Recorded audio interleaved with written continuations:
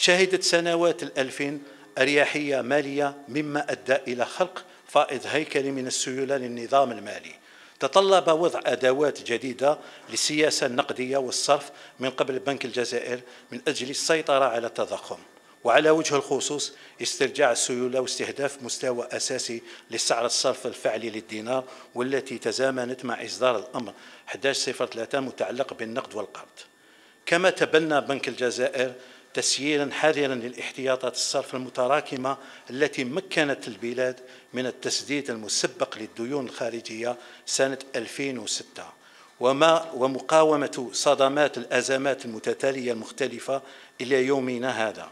كالأزمة المالية لسنة 2008 والصدمة النفطية المضادة لسنة 2014 وجائحة كوفيد 19 وتجدر الإشارة هنا إلى المرونة الكبيرة في مواجهة الصدمات الذي أظهرها النظام المصرفي بعد تعزيز متطلبات الرأسمال القانوني فيما يتعلق بالمخاطر والإشراف عليها.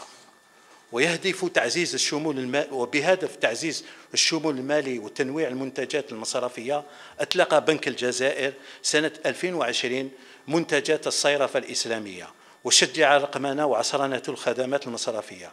ولهذا الغرض باشر عملية إزالة الطابع المادي على الكشوف المالية البيانات أو التقارير سواء داخلية بين هياكل بنك الجزائر أو خارجيا مع البنوك مع البنوك.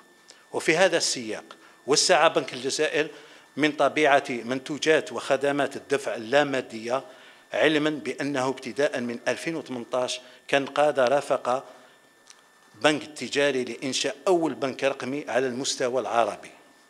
بالإضافة إلى ذلك وجراء ظهور أزمة الوباء العالم العالمية واتساع نطاقها أطلق بنك الجزائر في جوليا سنة 2021 البرنامج الخاص لإعادة التمويل بقيمة 2100 مليار دينار لصالح البنوك بغرض توفير المزيد من السيولة لدعم النشاط الاقتصادي في البلاد. لقد كونت سنة 2022 تحدي جديد فيما يخص التحكم في التضخم كظاهرة, كظاهرة عالمية.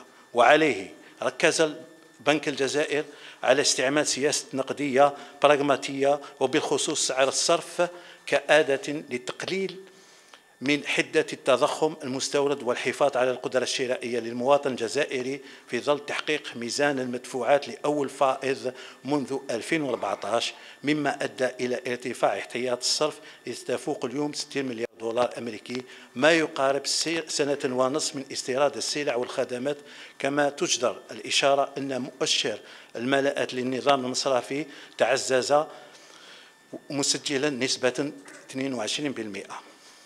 السيد الوزير الأول السيدات والسادة لقد أدى بنك الجزائر بكل احترافية جميع المهام السيادية الموكلة إليه عبر ستة عقود من الزمن. ورفع بتفان ومهنية جميع التحديات التي ميزت مراحل تطور أمة غيورة على استقلالها وسيادتها.